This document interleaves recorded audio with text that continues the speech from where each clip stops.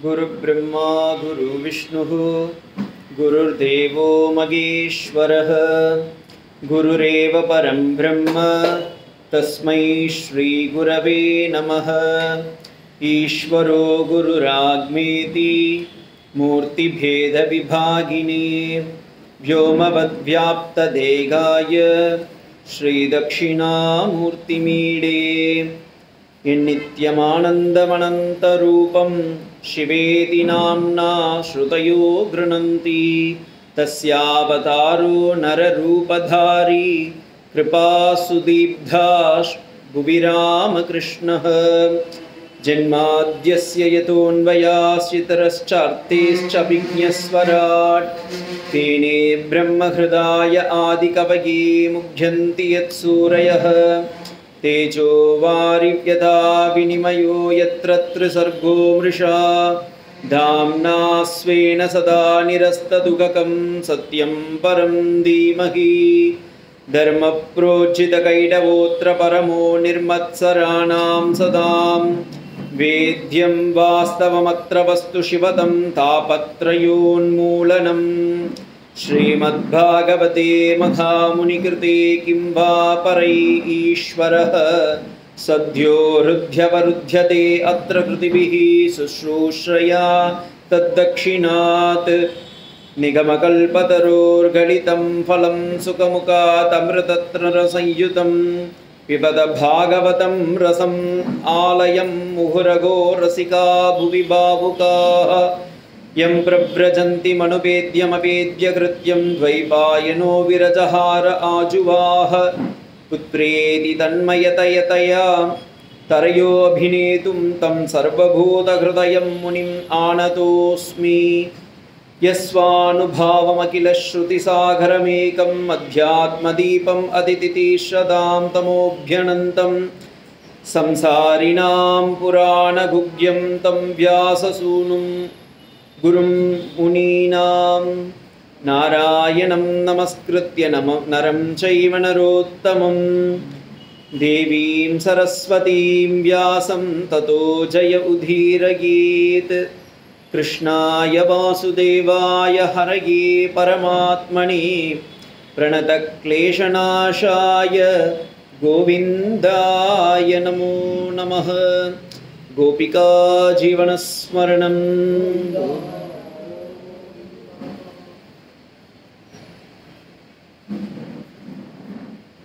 ஆஸ்திக அன்பர்கள் அனைவருக்கும் இனிய மாலை வணக்கம்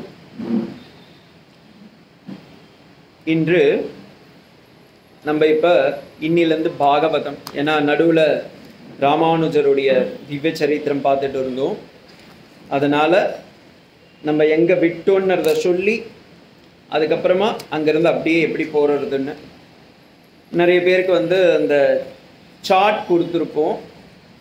அந்த சார்ட் நீங்கள் பார்த்தீங்கன்னாவே தெரியும். இந்த ஸ்ரீமத் பாகவதம் என்பது கிருஷ்ணனுடைய மகாத்மியத்தை கூற வந்த சரித்திரம். அதில் கிருஷ்ண பகவான் வாசுதேவர் இந்த உலகை படைத்து அதன் பிறகு பிரம்மா மு முதலான தேவர்களை படைக்கின்றார். பிரம்மா அவருடைய மகனான சுவாயம்பூ மனு அவரிடம் அந்த பொறுப்பை ஒப்படைக்கின்றார். சுவாயம்பூ மனுவுக்கு ஆறு பிள்ளைகள் பிரியவிரதன் உத்தானபாதன் ஆஹூதி பிரசூதி தேவகூதி இதில் ஒவ்வொருத்தருடைய சரித்திரமாக நம்ம பார்த்துட்டு வரோம். அதில் உத்தானபாதனுடைய சரித்திரத்தில் தான் நம்ம இப்போ நாலாவது ஸ்கந்தத்தில் இருக்கும். உத்தானபாதன் உத்தானபாதனுக்கு இரண்டு மனைவிகள் சுருதி சுனீச்சி அப்படின்னு ரெண்டு பேர். அதில் சுநீதி சுனீதிக்கு மகனாக பிறந்தவர் துருவ மகாராஜா துருவர் மகாராஜாவுடைய சரித்திரத்தை மூன்றாவது ஸ்கந்தத்தில் அனுபவித்தோம். அதன் பிறகு துருவருடைய மகன் உத்கலன் அப்படின்னு பேர். அந்த உத்கலனுடைய சரித்திரத்தை பார்த்தோம். உத்கலனுக்கு பிறகு அவருடைய வம்சத்திலேயே வந்தவர் தான் வம்சத்ரக அப்படின்றவர். அவருக்கு ஐந்து ம குழந்தைகள். அந்த ஐந்து குழந்தைகளுக்கு மகனாக பிறந்தவர் தான் சாக்ஷுஷ மனு அப்படின்றவர். அந்த சாக்ஷுஷ மனு அப்படின்றவருக்கு மகனாக பிறந்தவர் தான் அங்கன் அப்படின்னு. சுவாமி இவ்வளோ பேரெல்லாம் நீங்கள் பாட்டு சொல்லிகிட்டே இருக்கீங்க. இதெல்லாம் எப்படி ஞாபகம் வச்சுக்கிறது? ஞாபகம் வச்சுக்காத வரைக்கும் உபன்யாசருக்கெல்லாம் ரொம்ப சந்தோஷம். ஏன்னா நீங்கள் ஞாபகம் வச்சுட்டீங்கன்னா அப்போ எனக்கு வேலை இல்லாமல் போயிடும். அதனால் இந்த பேரெல்லாம் அது ஆனால் புராணத்தில் சொல்லும்போது சொல்லுவாங்க அந்த பேரெல்லாம் ஞாபகம் வச்சுக்கிறதுக்கு காரணம் அந்த ஒவ்வொரு பேருக்கும் உள்ளார தாத்பரியம் இருக்குது அது ஒரு நபருடைய பேர் இல்லை அதுக்குள்ளார பார்த்தீங்கன்னா ஒரு தாத்பதம் தாத்பரியம்னு இருக்கும். சுநீதி அப்படின்னா நீதியை வழுவாமல் செய்கின்றவளுக்கு சுநீதி. சுருச்சி ருச்சி என்றால் எல்லாத்தையும் ருச்சி பார்க்குறவா சொல்கிறாள்ல எல்லாத்துலேயும் அவங்க வந்து சுகத்தை அனுபவிக்கவளுக்கு சுருச்சி அப்படின்னு. உத்தான பாதன் அப்படின்னா எப்பொழுதும் உத்து என்றால் பெரிது. எப்பொழுதும் எ- பெரிய எண்ணத்தையே மனதில் வைத்து கொண்டிருப்பவன். அதனால் உத்தான பாதன் அப்படின்னு. ஸோ இதே இதுல பார்க்கும்போது அங்கன் அங்கன் ஒரு நல்ல மகாராஜா. அவருக்கு குழந்தை இல்லைன்னு சொல்லிட்டு அவர் தேவர்களிடம் பூஜை செய்கின்றார். அந்த பூஜையின் என்னுடைய ஆகுதியை எடுக்கிறதுக்கு தேவர்கள் வரல. அதுக்கப்புறமா தேவர்களே சொல்கிறாங்க உங்களுக்கு குழந்தை இல்லாமல் இருக்கிறது நல்லதுன்னு. சில பேருக்கு குழந்தை இல்லைன்னா நம்ம சந்தோஷப்படணும். அதனால அது சொன்னேன் புண்ணாத் நரகாத் ந திராயதி இதி புத்திரக புத்திரன்ற சப்தம் யார் ஒருத்தர் குழந்தைகள் பிறந்து அந்த புத்துன்ற நரகத்துக்கு போகாமல் இருப்பார்களோ அப்போ அதுக்கு பேர் புத் பு- புத்திரன்னு சொல்லுவா. ஆனால் இந்த உலகத்தில் இப்போ பார்த்தீங்கன்னா அப்பா அம்மா அந்த நரகத்துக்கு போகணும்னு அவசியம் இல்லை. குழந்தை அந்த நரகத்தை இங்கேயே கொடுத்துருது. அதனால் இங்கேயே அந்த புத்துன்ற நரகத்தை அனுபவிச்சிடுறோம் சுவாமி. ஸோ அப்படி அங்கன் வருகின்றார். அங்கனுடைய மகனாக தேவர்கள் அப்புறமா ரொம்ப அவர் வலி வற்புறுத்தி கேட்டதால் வேணன் என்னும் மகாராஜா வருகிறார். வேணன் என்ன பண்ணுறார் முதல் கட்டளையே கடவுளுக்கு எந்த எந்த கோவிலையிலும் கடவுளை வணங்கக்கூடாது. வழிபாடு எல்லாம் எனக்குத்தான். புக்கில் இருக்கிற சிலபஸ் எல்லாத்தையும் மாற்றுங்க நான் தான் கடவுள் அப்படின்னு எல்லாத்தையும் மாற்றி விட்டுட்டார். அதனால் என்னாச்சு? வேணன் ரொம்ப அட்டூழியம் பண்ணதுனால அங்கே இருக்கிற அமைச்சர்களே எல்லாரும் ஒன்றாக சேர்ந்து இந்த வேணனுக்கு ஒரு முடிவை கொடுக்கின்றார்கள். அவருக்கு விஷம் வைத்து சாகடிக்க நேரிடுகின்றது. ராஜா இறந்துட்ட பிறகுதான் ராஜாவுடைய அவசியமே புரியுது. ஆஹா ராஜா இருந்த வரைக்கும் நல்லா இருந்தது. இப்போ ராஜான்ற பேரில் ஒருத்தர் இருந்தால் இப்போ அவரும் போயிட்டார். இப்போ ராஜாங்கமே கலை இழந்திருக்கே. வேற யார் ராஜாவாக இருப்பாங்க அப்படின்னு சொல்லிட்டு உடனே என்ன பண்ணுறாங்க அந்த வேணனுடைய துடையை கடைகின்றார்கள். சுவாமி இதை வந்து நம்ம உடனே க குழந்தைங்களுக்கெல்லாம் சொல்லணும்னு வச்சுக்கோங்க. மாடர்ன் குழந்தைங்களுக்கு கூப்பிட்டு வேணன்னு ஒருத்தர் இருந்தாண்டா அவனுடைய தொடையை கடந்தோண்டா. அதுலேருந்து ஒருத்தன் வந்தாண்டா அப்படி சொன்னால் என்ன பாட்டி கப்சா விடுற? அப்படி சொல்லிடுவா. ஸோ நம்ம அதுக்கேற்ற மாதிரி சொல்லணும். இப்போ மாடர்ன் டெக்னாலஜியில் பார்த்தீங்கன்னா டிஎன்ஏ டெஸ்ட் ப்ராசஸ்னு வச்சுருக்காங்க. ஒரு இறந்தவர் ஒருவருடைய உடம்பில் இருக்கக்கூடிய துணியோ அவருடைய ரஸ் ரத்தத்தோ ரத்தமோ இல்லது அவருடைய சதையிலிருந்தோ ஒரு அணுவை நாம் எடுத்தால் அதிலிருந்து அப்படியே நாம் ஒரு மனிதனையே உருவாக்க முடியும்னு சயின்ஸ் சொல்லுது அறிவியல். அதே பிரகாரம் வேணனையும் அவர் இறந்தார். ஆனால் அவங்க அம்மா அந்த உடலை பூத உடலை பாதுகாத்து வைத்து இருக்கின்றார் அப்படி பாதுகாத்து வைத்திருக்கும் போது அந்த உடலிலிருந்து ஒரு கடைகின்றார்கள். அப்படி கடையும் போது அதிலிருந்து நிறைய குழந்தைகள்லாம் வராங்க. அவங்களுக்கு பேர் நிஷாதர்கள். இரவில் பிறந்தவர்கள். நிஷா என்றால் இரவுன்னு அர்த்தம். இரவில் பிறந்தவர்கள் அதனால் அவர்களுக்கு நிஷாதர்கள்னு பேர் வச்சு வளர்க்குறான். ஆனால் அந்த வேணனுடைய அட்டுழியம் அத்தனையும் செய்து அவர்களுக்கு குழந்தை பிறகு இப்போ வேணனுடைய கொள்ளு பேரன்கள் வந்துட்டாங்க. பேரன்கள்லாம் வந்துட்டாங்க. அங்கே ஒரு அற்புதமான ஒரு மகாராஜா வருகின்றார். அவருக்கு பேர் பிருத்து மகாராஜா. பிருத்து அப்படின்ற வம்சமே அதனால தான் வந்தது. இந்த பிருத்து மகாராஜா வரும்போது உலகில் எங்கு பார்த்தாலும் பட்டினி பஞ்சம். நாட்டில் இருக்கிற அத்தனை செல்வங்களும் அப்படியே இழந்து விட்டது. ஏன்னா வேணன் எல்லாத்தையும் கோவில்லாம் பண்ணக்கூடாது கோவில்லாம் திறக்கக்கூடாது யாக யஜ்யங்கள்லாம் நடக்கக்கூடாது பூஜைகள்லாம் நடக்கக்கூடாதுன்னாங்க. அப்போ தான் நான் ஒரு நாலு ஐந்து வாரங்களுக்கு முன்பு பஞ்சமகா யஜ்யம் என்றால் என்ன அப்படின்றத பற்றி சொன்னேன். இந்த பஞ்சமகா யஜ்யங்களை பற்றி பகவத்கீதையில் கண்ணனம் பிரானும் சொல்லியிருக்கின்றான். அந்த பஞ்சமகா யஜ்யம் என்பது தேவ யஜ்யம் பிருத்தி யஜ்யம் ரு யஜ்யம் மனுஷ யஜ்யம் அதெல்லாம் சொல்லி அதில் ஏன் நாம் செய்ய வேண்டும் அப்படின்லாம் சொல்லி விலாவரியாக சொன்னேன். இந்த பஞ்சமகா யஜ்யங்கள் மறந்து போகும்போதுதான் நமக்கு தர்மம் தலை தூக்குகின்றது அதர்மம் தர்மம் தலை இறங்குகின்றது அதர்மம் தலை தூக்குகின்றது. ஏன் அப்படி ஆயிடுதுன்னா இப்போ எல்லோரும் காலையில் அப்பா அம்மா காலில் விழணும். பெரியவர்களை மதிக்க வேண்டும். தேவர்களை எல்லாம் மதிக்க வேண்டும். பூஜை செய்ய வேண்டும். இப்போ நம்ம அதெல்லாம் செய்யல சுவாமி. காலையில் எட்டு மணிக்கு தான் எழுந்துக்கிறோம். எட்டரை மணிக்கு ஆஃபீஸ் போயிடுவோம். ஆந்த வேலையே வந்து பல்ல துலக்கிப்போம். இல்லை ஆஃபீஸ் போய் ட்ரெஸ்ஸை போட்டுப்போம். அப்படின்னா அப்போ நமக்கு அந்த யஜ்யங்கள்லாம் செய்யறதுக்கான நேரம் இல்லாமல் போயிடுது. அதுக்கப்புறமா நம்ம என்ன பண்ணுறோம் ஒன் ஒரு சில காலங்கள் போன பிறகு ஸ்பெஷல் டென்டிஸ்ட்டை பார்க்க வேண்டியதாக இருக்குது ஏன்னா பல்லு சரியாக வளர்க்கலை. ஸோ நம்ம டெய்லியும் நித்தியப்படி எதை செய்ய வேண்டுமோ அதை செய்யாமல் போயிட்டோம்னா பகவான் என்ன சொல்கிறான் அதுக்கு ஸ்பெஷலாக ஒருத்தரை அனுப்புகிறப்பா அவரை பார்த்துக்கோ. இது பெரியவங்களுக்கும் தகும் குழந்தைங்களுக்கும் தகும். ஸோ அந்த பஞ்சமகா யஜ்யங்களை பற்றி சொல்லி அதுக்கப்புறமா ரித்து மகாராஜா இந்த இழந்த செல்வங்களை எல்லாம் இந்த நாட்டின் பொக்கிஷங்களை எல்லாம் திருப்பி எடுத்து தர வேண்டும் என்பதற்காக பத்தாயிரம் வருடங்கள் தவம் புரிகின்றார். அப்படி தவம் புரியும் போது அந்த பிருத்து மகாராஜாவிற்கு பிரம்மா சென்று உனக்கு நான் வரம் வே என்ன வரம் வேண்டும்பா? சொல்லுப்பான்றாரு. எனக்கு நான் இழந்த என் நாட்டு மக்களுக்கு எல்லா செல்வங்களும் வேண்டும். அப்படின்றார். அப்போ செல்வம்லாம் வேணும்னா அது என் கையில் இல்லை. ஏன்னா பிருத்திவி பிருத்திவினா இந்த உலகத்தில் இருக்கக்கூடிய பூமி பிராட்டியுடைய தாய் பூமி தாயுடைய பேரு பிருத்திவி. இந்த பிருத்திவி தேவியை நீ போய் கேள் அவளிடம்தான் நீ தர முடியும். இப்போ நாட்டில் நீர்வளம் வேண்டும் நிலவளம் வேண்டும் கனிம வளம் வேண்டும் வனவளம் வேண்டும் செல்வம் வேண்டும் தங்கம் வெள்ளி போன்ற தாத்துக்கள் எல்லாம் வேண்டும். எங்கிருந்து வருது இதெல்லாமே? பூமியிலேருந்து தான் அப்போ பூமியிலேருந்து தானேப்பா கேட்கணும்? என்கிட்ட கேட்டு என்னப்பா பண்ணுறது அப்படின்னு சொல்லி பூமி பிராட்டியை நோக்கி நீ தவம் செய் அப்படின்றா.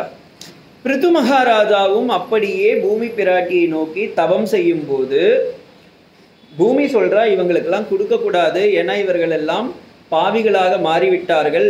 என்னை கொன்று என் வளங்களை எல்லாம் அழித்து காடுகளை வழி அ- அழித்து கடலை அழித்து நீர் வளங்களை எல்லாம் ஏரிலாம் எங்கே இருக்கோ அங்கெல்லாம் வீடு கட்டிட்டா. மழை வரும்போது தண்ணி வந்துச்சுன்னா என்ன பண்ணிடுறோம்? சுவாமி நாங்கள்லாம் நல்லா தான் வீடு கட்டணும் ஆனால் தண்ணி எங்கள் வீட்டுக்கு வருது. தண்ணி சொல்லும் நான் டெய்லியும் வருஷம் வருஷம் அந்த இடத்துக்கு தான் வரேன். இந்த வருஷம் வீடை கட்டி வச்சுருக்கான். ஸோ இதே போல் நம் நாம் வந்து இயற்கை வளங்களை அழிக்க நேரிடுகின்றோம். அதற்கு இயற்கை நமக்கு ஒரு பாடம் கற்பித்து தருகின்றது. அப்போ இந்த பிருத்திவியை பிரித்து மகாராஜா ரொம்ப வேண்டி கேட்டுக்கிறதுனால பிறகு பிருத்திவி என்ன சொல்கிறா சரி ஓகே. உன்னுடைய தபஸ் தவத்தை மிச்சி நான் இங்கே ஒரு பசுவாக மாறிவிடுகின்றேன். என்னை கறந்து நீ எடுத்துக்கொள் அப்படின்ற இப்போ பிருத்திவி எதுக்கு ஒரு பசுவாக மாறுனா? அந்த காரணம் தெரியணும்.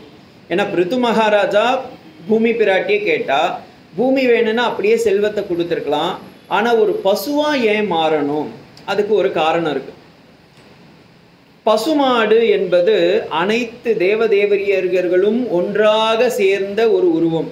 அதில் பார்த்தீங்கன்னா பிரம்மா விஷ்ணு சிவன் ருத்ரன் முருகன் பிள்ளையார் லக்ஷ்மி எல்லாருடைய ஃபோட்டோவும் போட்டு வச்சுருப்பாங்க.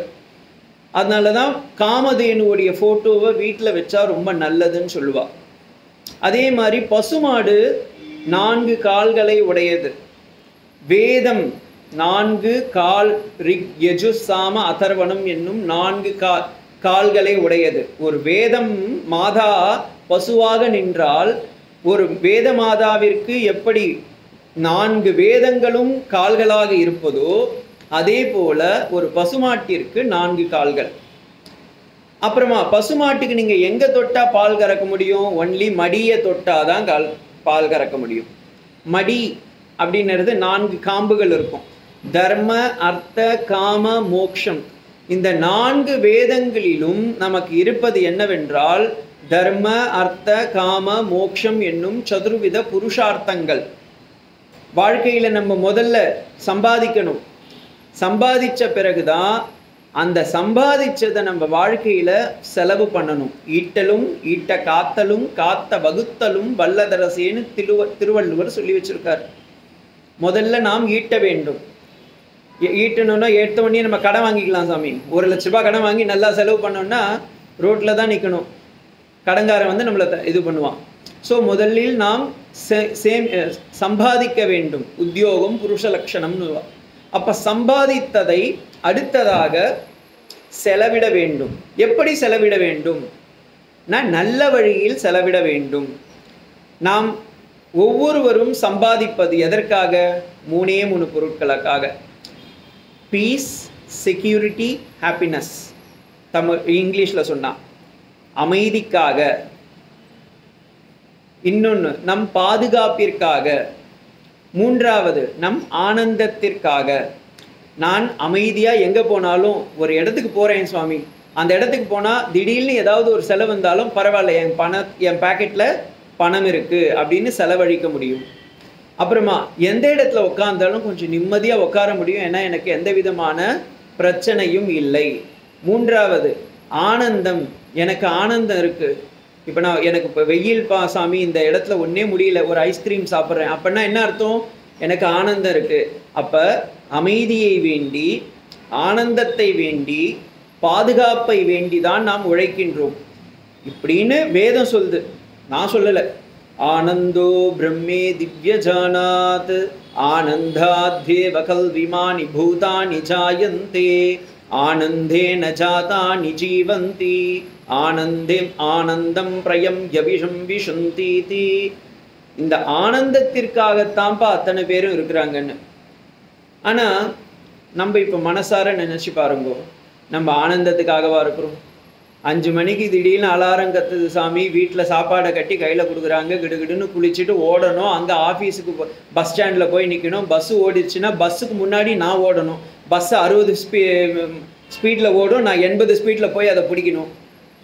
அதுக்கு மேலே நான் பாஸ் கிட்ட போய் நிற்கணும் அவர் ஒரு நாய். நாலு கொலை கொலைப்பார். நான் அவரை பார்த்து கொலைக்கணும். அதுக்கப்புறமா நம்ம வேலையை செய்யணும். வேலையை செஞ்சவொடனே மதியம் ஒரு சாப்பாடு. அந்த அம்மா என்ன பண்ணியிருப்பாங்க இப்போல்லாம் நமக்கு வந்து பிரம்மத்துக்கு அடுத்ததாக ஒரு பொருள் இருக்குது ஒரு வாரத்துக்கு தேவையானதை ஒன்றா சமைச்சு ஒரு இடத்துல வச்சுடுவாங்க. அது வந்து வேணுன்னும் போது வெளியே எடுத்து அப்பப்போ அப்பப்போ பிரம்மனை வந்து இப்போ ஸ்பர்ஷம் பண்ணிக்கிற மாதிரி அப்படி சு- சுட்டு போட்டு இல்லை தட்டி போட்டு வாயில் போட்டுக்கிறோம். அதுக்கப்புறமா வீட்டுக்கு வந்தால் காஞ்சதையோ வெந்ததை தின்று வீட்டுக்கு வந்தால் வீட்டில் ஏதாவது ஒரு பிரச்சனை காத்துன்னு இருக்கோம் பிரச்சனையே நம்ம வந்து பெட்ஷீட்டாக போத்திக்கிட்டு படுத்துன்னு இருக்கோம் இதுதானே போயின்னு இருக்கு ஸோ இதுக்கு நடுவில் எங்கே சுவாமி ஆனந்தம் அப்படின்னா இதுதான் நம்ம எல்லோருமே மறக்கின்றோம். அதுக்காக தான் இந்த மாதிரி ஒரு கிளாஸு ஏன்னா பாகவதம்ன்றது ஒரு கதை சுவாமி. அது நல்லா தெரியுமே. இவர் பண்ணார் அவர் பண்ணாருன்னா அதுக்காக பாகவதம் வர்றது இல்லை. இதையெல்லாம் நாம் அனுபவிக்கணும். ஓ இப்படி தான் இருக்கா? இதுதான் தாத்பரியமா அப்படின்னு தெரிஞ்சுக்கிறதுக்கு. ஸோ அந்த பொருளை நாம் அனுபவிக்கணும். எப்படின்னா ஓ நம்ம இங்கேருந்து வேலைக்கு போகிறோம் இப்போ இங்கேருந்து டைம் ஆயிடுத்து. பாரு நமக்கு முன்னாடி காலன் போயின்னு இருக்கான் அந்த காலத்துக்கு முன்னாடி நம்ம போகணும். ஒருத்தர் ஒன்று கேட்கறதுக்கு முன்னாடி நம்ம ஒரு வேலையை செய்யணும். ஒரு குழந்தை நமக்கு ஒன்று கேட்கறதுக்கு முன்னாடி செய்யணும். எல்லார் வாழ்க்கையிலையும் பார்த்தீங்கன்னா நம்ம வாழ்க்கையே சுவாரஸ்யமாக மாற்றிக்கிறதும் இல்லை அது கஷ்டம்னு நினைக்கிறதும் நம்ம கையில் தான் இருக்குது ஒரு குழந்தைய கேட்டு பாருங்க அது சொல்லும் சாமி நான் பாட்டுன்னு ஸ்கூலில் இருந்தேன். ஒரு நாலு கேள்வி கேட்டேன். எல்கேஜி இருக்கும்போது டீச்சர் என்ன சொன்னாங்க? ஷட்டப் பேசாது. சரி ஓகே நான் பேச மாட்டேன்னு.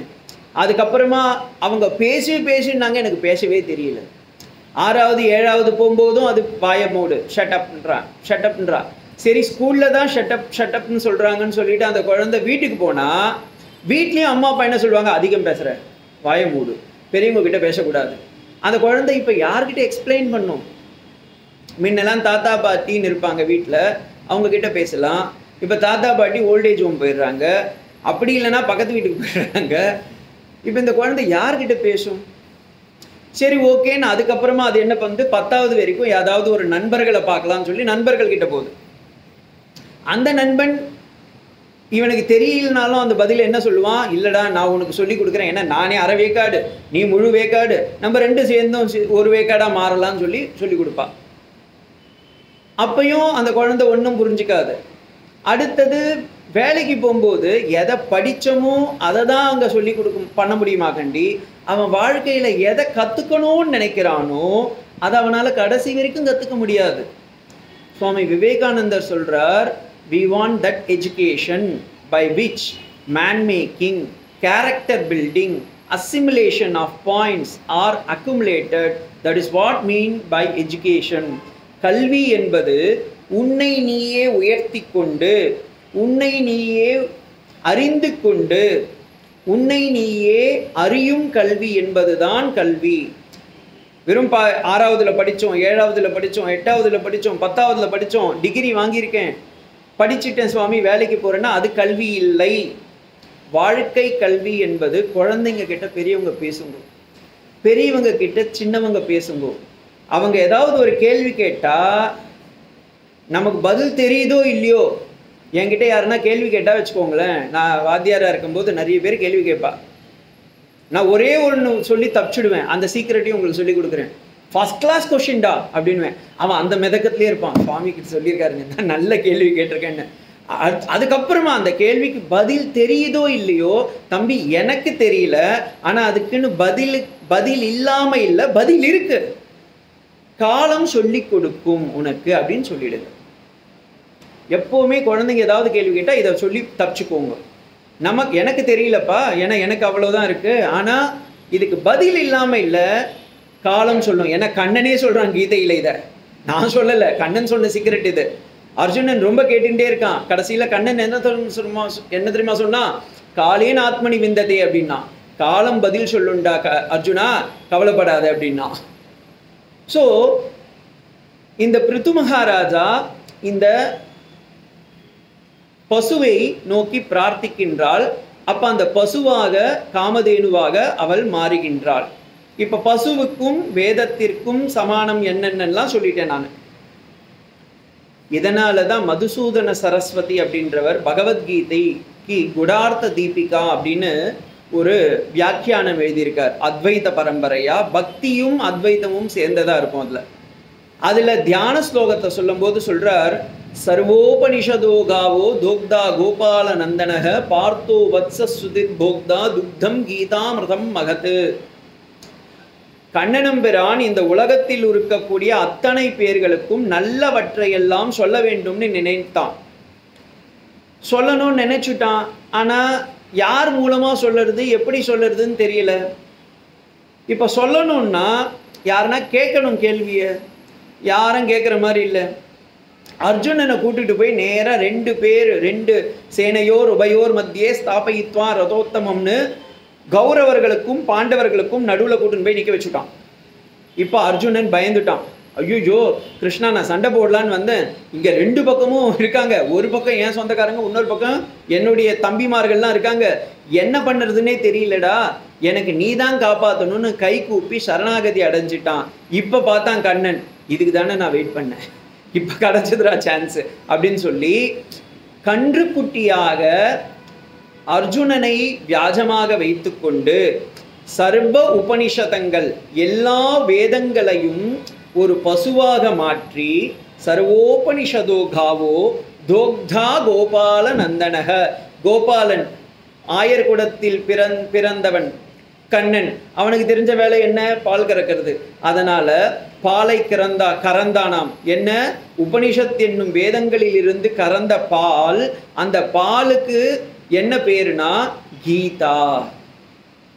சர்வோபனிஷதோ காவோ தோக்தா கோபால நந்தனக பார்த்தோ வத்ச சுதிர்போக்தா துக்தம் கீதாமிருதம் மகத்து அப்படி இந்த உலகத்தில் உள்ள அத்தனை பேருடைய கஷ்டங்களை போக்குவதற்காக கீதம் கீதா என்னும் அமிர்தத்தை நமக்கு தந்தான். ஆனால் நம்மளால் அதை படிக்க முடியுதா? சுவாமி கீதையை படித்தா நமக்கு அமிர்தம் வருதோ இல்லையோ?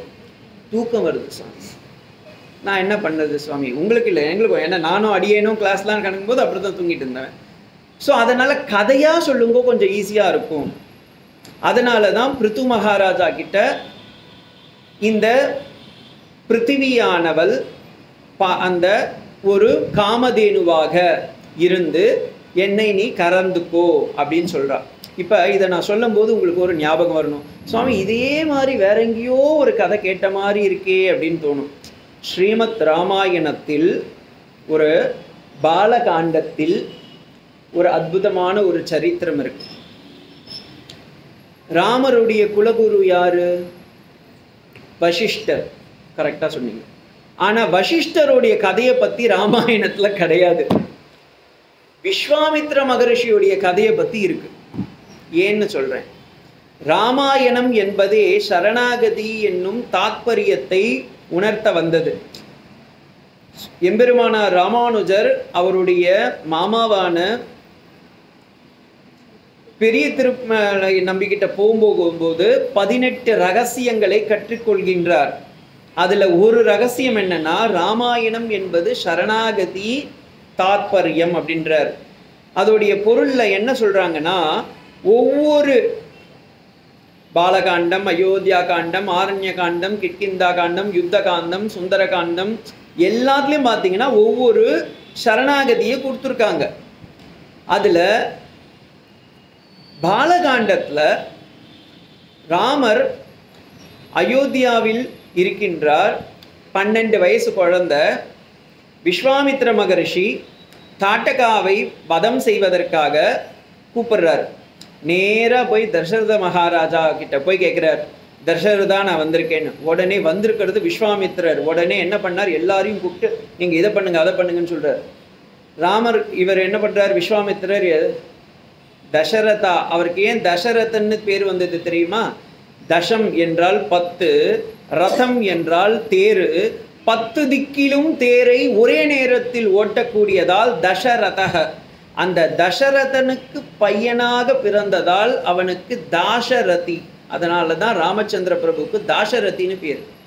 ஸோ தசரதர மகாராஜா கிட்ட போய் விஸ்வாமித்திரர் கேட்குறார் எனக்கு ஒரு யாச்சகம் வேணும். நான் உங்ககிட்ட கொஞ்சம் கெஞ்சி ஒரு ரெக்வஸ்ட் லெட்டர் கொடுக்குறேன்பா பெட்டிஷன் அதை ஃபில் பண்ணு அப்படின்றார். உடனே தசரதன் டக்கு டக்குன்னு வாயை விட்டுருவார். எதுக்கு ஒன்றுமே என்ன வேணுமோ கேளுங்க சுவாமி நீங்கள் எதை கேட்டாலும் நான் கொடுத்துருவேன் அப்படின்றார். உடனே த விஸ்வாமித்ர சொல்கிறார் ஒன்றுமில்லை எனக்கு உன்னுடைய ராமனை எனக்கு கொடு.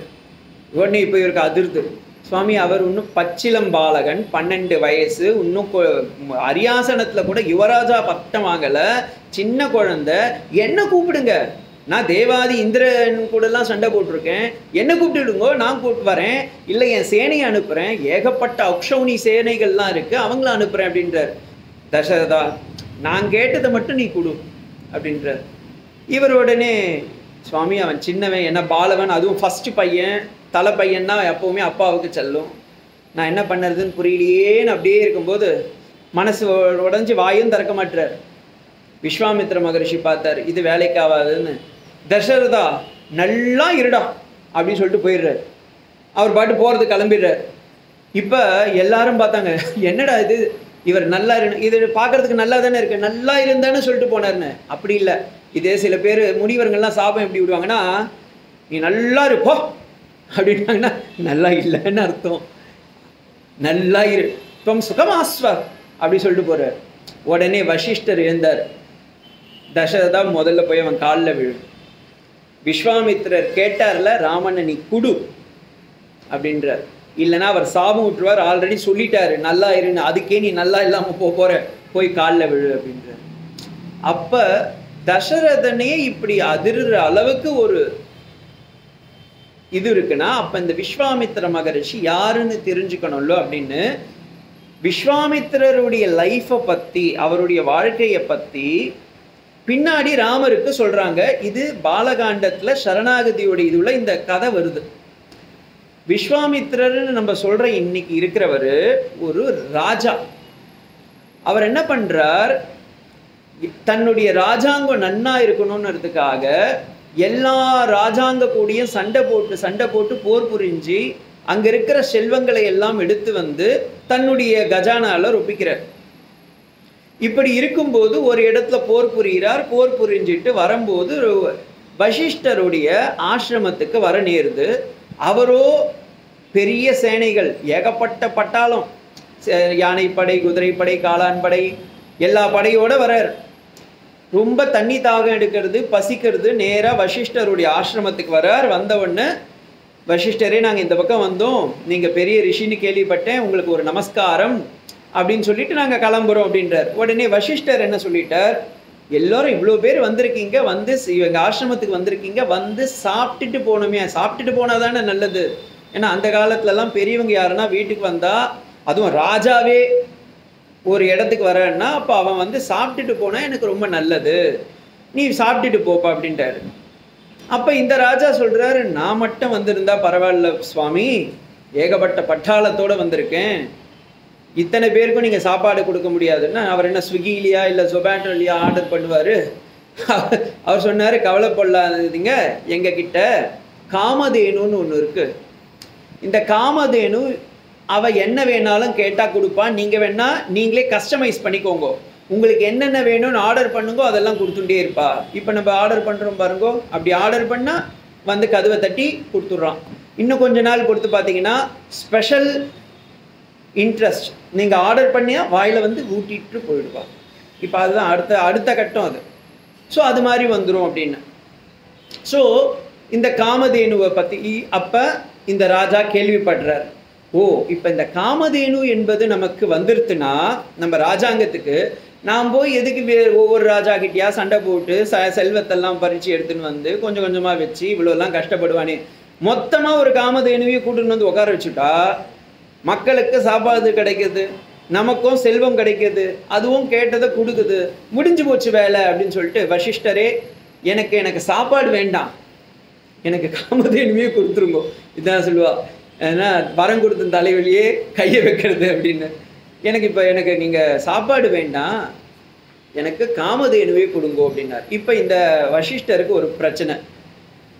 யாருன்னா கேட்டு இல்லைன்னு சொல்லக்கூடாது. புறநானூர்லேயே சொல்லுவா பாருங்கள் ஈயன இருந்தல் இழுந்தன்று அதனெதிர் ஈயேனென இழுந்தல் அதனினும் இழுந்தன்று கொள்ளென கொடுத்தல் உயர்ந்தன்று அதனெதிர் கொள்ளேன் என கொடுத்தல் அதனினும் உயர்ந்தன்று. இந்தாப்பா இதை வச்சுக்கோப்பா. அப்படின்னா அவன் பெரியவன். நீங்க கொடுக்குறீங்க பரவாயில்லங்க ஆனா எனக்கு வேண்டாங்கன்னு சொல்றான் பாருங்க அவன் அதை விட பெரியவன். நான் கொடுக்க மாட்டேன்னு சொன்னான்னா அதை விட கெட்டவன். நீ கொடுத்தோம் இல்லை கொடுங்கன்னு நானே பிடுங்கிட்டேன்னா அதை விட கேவலமானவன் வேற யாரும் இல்லைன்னுவா இப்போ இவர் என்ன பண்ணிட்டார்? கொடுத்தே தீரணும். வசிஷ்டர் அதுவும் அவர் வந்து அவர் ஒரு குருகுலத்தில் இருக்கிறது ஒரே ஒரு சுவாமி அந்த காமதேனு. இவர் கேட்டுட்டார். சரி ஓகே. நீங்கள் கேட்குறீங்க தப்பில்லை. அது வந்தால் நீங்கள் எடுத்துகிட்டு போயிடுங்க. இதுதான் சாத்துரியம் ஏதாவது ஒன்று இப்போ இதெல்லாம் நம்ம வந்து எப்படி தெரிஞ்சுக்கணும்னா இப்போ யாருனா வந்து ஒருத்தர் வீட்டுக்கு வரான்னு வச்சுக்கோங்களேன். யாருனா ஒருத்தர் வீட்டுக்கு வந்தால் நம்ம என்ன பண்ணிவிடும் சும்மா இருக்க மாட்டோம். இது ஆஸ்திரேலியாவில் வாங்கினது இந்த ஸ்பூன் அமெரிக்காவில் வாங்கினது இது எங்கள் அண்ணா அண்ணா அண்டார்டிகா போகும்போது வாங்கினது எல்லாம் சொல்லுவோமா? அங்கே இருக்க பையன் கேட்கும் அண்ணா அண்ணா எனக்கு அந்த பென்சில் வேணும் இப்போ தான் பசிலே நமக்கு. இது கொடுக்குறதா வேண்டாமா? கொடுத்தா அங்கேருந்து பார்த்தீங்கன்னா வீட்டுக்காரம்மா அப்படியே அக்னி கக்குவா.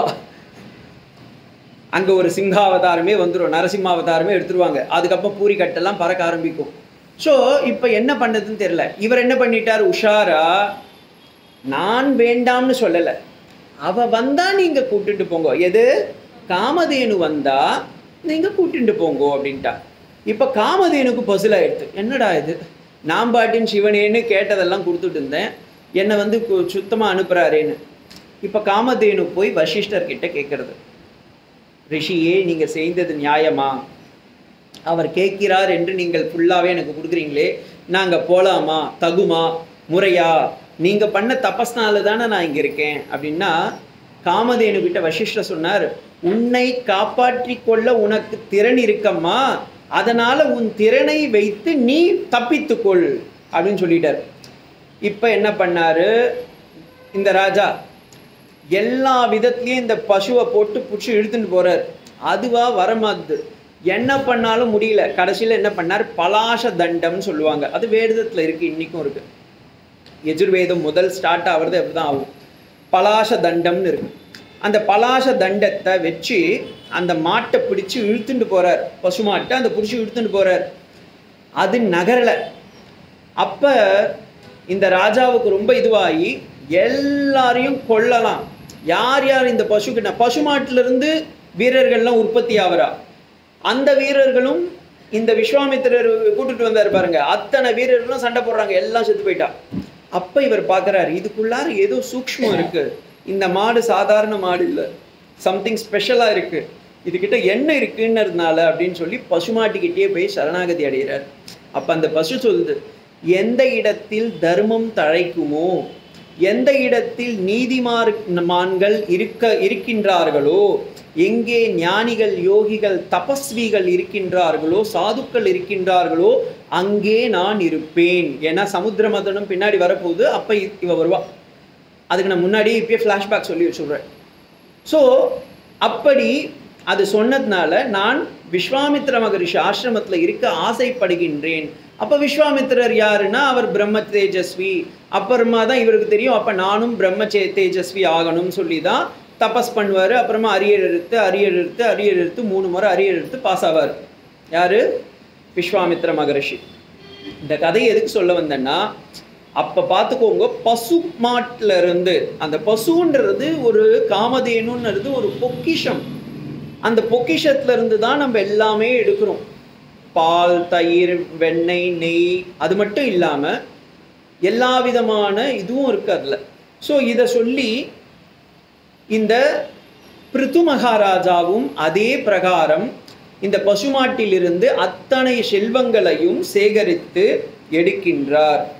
அப்படி எரி எடுக்கும்போது எல்லா செல்வங்களையும் எடுத்துக்கொண்டு இருக்கும்போது அந்த பிரித்து மகாராஜாவுடைய அந்த ஆசையே இல்லாமல் மக்களுக்காக செய்யக்கூடிய அந்த சேவையை பாராட்டி காமதேனு சொல்றா பிரித்து இந்த உலகம் இருக்கும் வரை உன் பெயராலேயே இது வழங்கப்படும் அப்படின்றா அதனால தான் இன்னைக்கும் பிருத்திவி அப்படின்னு இந்த உலகத்துக்கு பேர். பிருத்து அந்த வம்சத்துல இருந்து வந்தவ தான் பிருத்தா. பெண்ணாக இருந்தால் பிருத்தான்னு. அந்த பிருத்தா அப்படின்றவங்களுக்கு தான் குந்தி தேவ் தேசத்துலேருந்து பெண் கல்யாணம் ஆகிறா. அந்த பிருத்தா அதனால் அவளுக்கு பேர் என்ன ஆயிடுது? குந்தின்னு பேர். அந்த குந்திக்கு மகனாக பிறந்ததால் தான் யாரு? அர்ஜுனன் பார்த்தன் ஏன்னா பிரிதா பிரிதாவின் மகன் பார்த்தன். பார்த்தனுக்கு சாரதியாய் அமர்ந்ததால் கண்ணனுக்கு பார்த்த சாரதி. புரியுறதா பாருங்கோ நம்ம நார்மலாக சொல்கிறோம் சுவாமி பார்த்த சாரதி எவ்வளோ பேர் யூஸ் பண்ணியிருக்கோம் பிரித்தான்ற பேர் எவ்வளோ யூஸ் பண்ணியிருக்கோம்? குந்தின்ற பாருங்கள் அதுக்குள்ளார தாத்பரியங்கள் எவ்வளோ இருக்குன்னு அதை சொல்லறதுக்காக சொன்னேன். ஸோ இப்படி இந்த பிரித்து மகாராஜா ஆள்கின்றார். எவ்வளவு வருடம் ஆடுகின்றார் என்றால் நூறு வய வருடங்கள் ஆள் ஆள்கின்றார். அப்படி ஆண்ட பிறகு அவருக்கு வயசமா வயசாயிருது பிருதா பிரித்து மகாராஜாவுக்கு. அவருக்கு ஒரு ஆசை. நாம் இந்த பூமியில் இருக்கக்கூடிய செல்வ செழிப்பெல்லாம் வளர்க்க வேண்டும் என்பதற்காக நூறு அஸ்வமேத யாகம் வளர்க்கின்றார். நூறு அஸ்வமேத யாகம் வளர்த்தால் இந்த உலகத்தில் பொக்கிஷங்கள் இன்னும் பிறகு வரும் சந்ததிக்கும் தங்கும் அப்படின்றதுக்காக அவர் வளர்க்குறார். நூறு வளர்க்குறாரு. தொண்ணூத்தொம்போது அஸ்வமேத யாகம் நிறைவேறுகிறது. ஃபஸ்ட் அஸ்வமேத யாகம்னா என்னன்னு சொல்லிடுறேன். ஏன்னா ராமபிரானும் நூறு அஸ்வமேதம் யாகம் நடத்தி வைத்தார். பிருகதான்னிக உபனிஷத்துன்ற சதபத பிராமணம் முதல் முதல் அது உருவாகும் போது அதில் முதல் மந்திரமே இப்படிதான் இருக்கும். உஷாவா அஸ்வசிய மேத்யஸ்ய சிரஹ அப்படின்னு. ஒரு குதிரை வெள்ள குதிரை அதுக்கு வால் இப்படி இருக்கணும் கால் இப்படி இருக்கணும் தலை இப்படி இருக்கணும்னு சொல்லி வேதம் சொல்லுது. அந்த பர்டிகுலர் குதிரையை வைத்து ஹோமம் நடத்தி அதற்கு நான்கு ஹோதா அத்வர்யு உத்காதா பிரம்மா அப்படின்னு நாலு பேர் அமர்ந்து ஹோமம் வளர்ப்பார்கள். அந்த ஹோமம் முடிய அப்- அணையவே கூடாது. அந்த ஹோமம் நடந்துகிட்டே இருக்கணும். அப்படி ஹோமம் நடந்து கொண்டே இருக்கும்போது இந்த குதிரை என்ன பண்ணும்? எங்கெல்லாம் தான் தோணு போகணும்னு தோணுறதோ அந்த இடத்துக்கு போகும். அந்த ராஜாவுங்க இந்த ராஜாவுக்கு யார் இந்த அஸ்வமேத யாகம் நடத்துகிறாங்களோ அவங்களுக்கு கப்பம் கட்ட வேண்டும். ஆர் அடிமை சாசனம் செய்ய வேண்டும். இதுதான் அஸ்வமேத யாகம்னு பேர். அந்த காலத்தில் அஸ்வமேத யாகம்னு ஏன் நடத்துனாங்கன்னா அப்படி எல்லா நாடுகளும் ஒரே ஒரு குடையின் கீழ் வந்தால் மக்களும் மன்னர்களும் நாடும் பயன்பெறும் அப்படின்றதுக்காக இதை வச்சுருந்தாங்க. இது வேதத்தில் இருக்கிறது ஒன்று இறுதியாக அந்த நூறாவது ராஜாங்கத்தை முடிச்சிட்டு அந்த குதிரை வந்து திருப்பவும் அதே ஹோமத்தில் சேரும்போது அதை பலியிடுவார்கள். அது வேதத்தில் இருக்கிறது. ஏன்னா பிறகு திரும்பவும் எந்த உயிர்களுக்கும் இழிவு கொடுக்கக்கூடாதுன்றதுக்காக அந்த சாங்கியம் வச்சுருக்காங்க இப்போ தொண்ணூத்தொம்போது அஸ்வமேத யாகம் நடந்தது. நூறாவது அஸ்வமேத யாகம் நடக்கிறதுக்கு குதிரையை கட்டி வச்சிருக்கா. குதிரை காணாமல் போய்விட்டது. எல்லாரும் சன் நியூஸில் ராஜ் நியூஸில் எல்லாத்துலேயும் சொல்கிறா a horse is missing when Prithu was conducting a Ashwamedha yaga யார் திருடி இருப்பா? ரொம்ப ஈஸி யாரு? பாருங்க எல்லாம் ஃபிங்கர் டிப்ஸில் இருக்கேன். எங்கள் வீட்டில் சாமான் செட்டு காணாம போனாலும் இந்திரன் பேர் தான் சுவாமி சொல்லுவோம் நாங்கள் ஏன்னா இந்திரனுக்கு எப்போதுமே வந்து நூறு அஸ்வமேத யாகம் பூர்த்தி அடைந்து விட்டால் அவன் பதவி போச்சு. யார் நூறு அஸ்வமேத யாகம் பூர்த்தி அடை செய்கின்றார்களோ அவர்களுக்கு அந்த இந்திர பதவி என்பது கிடைத்து விடும் நல்லா ஒன்று தெரிஞ்சுக்கோங்க. பெருமாள் எப்பவுமே சுப்ரீம் கீழே இருக்கிறா பாருங்க மனுஷ தேவர்கள் கந்தர்வர்கள் சித்திரரதர்கள் இவர்கள்லாம் தேவர்கள். அவங்களுக்கு கீழே இருக்கிறவங்கெல்லாம் மனுஷங்க.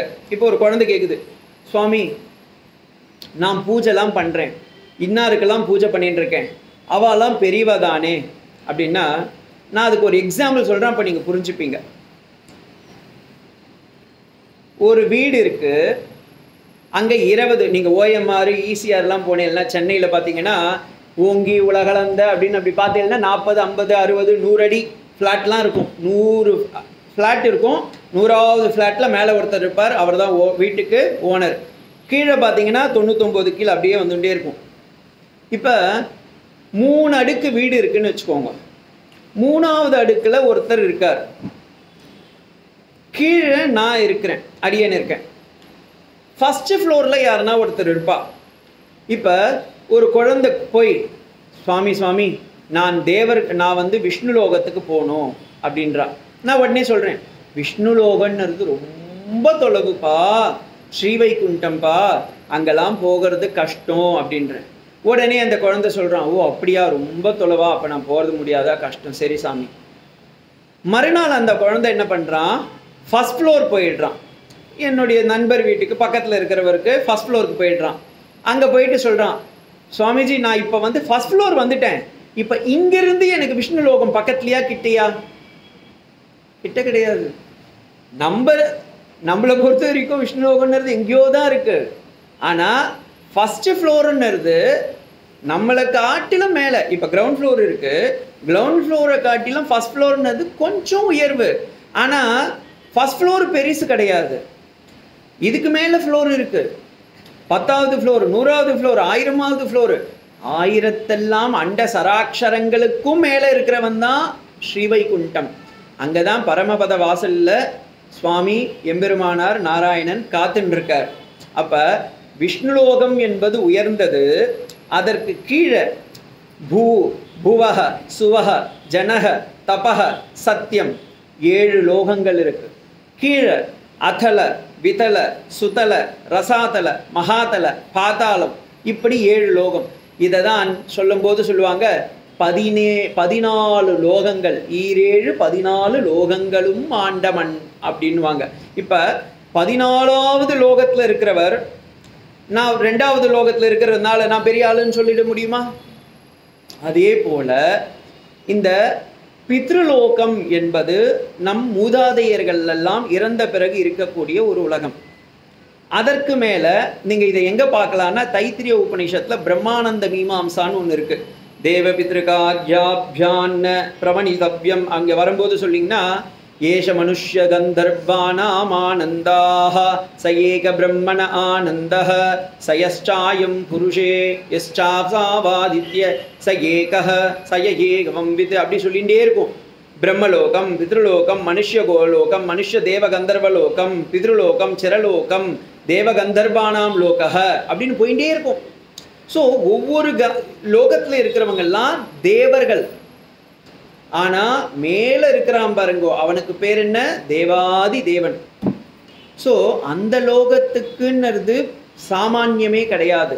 சமானம் என்பது கிடையாது. இங்க இருக்கிறவாளுக்கு இதுக்கு இதை நான் எதுக்கு சொன்னேன்னா இந்த பத்தொம்போது லோகத்துல இருக்கிறவங்கள ஒருத்தர் தான் இந்திரலோகம். இந்திரலோகத்துல இருக்கிறது ஒரு பதவி. இப்ப யார் நூறு அஸ்வமேத யாகம் நடத்துகின்றார்களோ அவர்களுக்கு இந்த இந்திரலோகம் பதவி கிடைச்சிடும். இந்திரலோகம் பதவி கிடைச்சிருதா அப்போ அவன் என்ன பண்ணான் பிரித்து மகாராஜா தொண்ணூத்தொன்பதாவது அஸ்வமேத யாகம் நடத்தி விட்டார் நூறாவதை நடத்தப் போகின்றார். குதிரையை எடுத்துக்கோ. குதிரை இருந்தால் தானே அஸ்வமேத யாகம். குதிரையே தொலைச்சு எடுத்துக்கோ அப்படின்னு சொல்லி கிட்னாப் பண்ணிட்டான். இது தெரிந்த பிறகு பிரித்து மகாராஜா அவருடைய மகன் விஜிதாஸ்வரன் பேர். அவரை அழைத்து சொல்கிறார் நீ போய் அவ அந்த அஸ்வமேத அஸ்வத்தை கொண்டு வா அப்படின்றார். விஜிதாஸ்வரனும் போகிறார் போய் இந்திரன் கூட சண்டை போடுறார். சண்டை போட்டு அந்த குதிரையை அழைத்து வடி வருகின்றார் அப்போ பிரம்மா விஜிதாஸ்வரனுக்கும் இந்திரனுக்கும் சண்டை நடக்கின்றது. பித்து மகாராஜா அப்படியே இருக்கார். அப்போ பிரம்மாவே வரார். சாக்ஷாத் ஸ்வயம் சதுர்முக பிரம்மா வந்து பிரித்து நீ செய்த இந்த தொண்ணூற்றி ஒன்பது யாகங்கள் பூர்த்தி அடைந்து விட்டது அதனால் நான் மகிழ்ந்து விட்டேன். இனி நீ இந்திரனிடம் சண்டை போட வேண்டாம் அப்படின்னுறார்.